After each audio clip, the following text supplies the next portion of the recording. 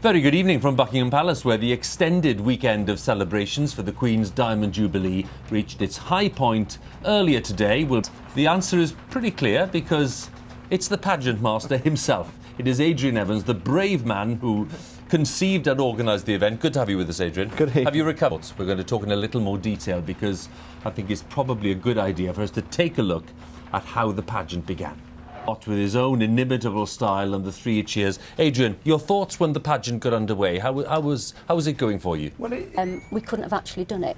And Adrian, you spoke. Uh, uh, in the planning, you know, you plan very meticulously, yeah. but surely, you know, you know that when an event like this takes place, certain elements are not going to go according to plan. How much contingency was there? How much how much did you built in as a kind of contingency plan? We, we the Queen, the Duke of Edinburgh, they yeah. were there. They were standing yeah. on the Spirit of Chartwell yeah. for a long, long time in, in driving rain at points. But they were so enthusiastic about it, and that was what sense of achievement. You know, what was the sense? I mean, seven hours, exhausting. You're cold, you're wet.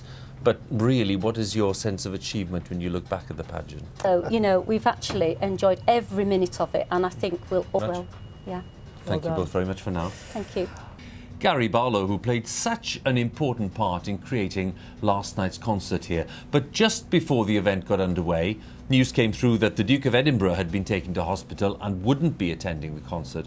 But the word from the palace was clear the show was to go ahead and the plans were not to change for the Diamond Jubilee concert. Well, it turned out to be even bigger and more spectacular than the Golden Jubilee concert a decade ago. And here's something you haven't seen before an exclusive view of how the stage and rehearsals came together over the past couple of weeks. We'll start at St Paul's, where the service of Thanksgiving included a piece sung by the Diamond Choir, young choristers from around the UK specially selected for today's occasion and performing after just a few days of rehearsal. And with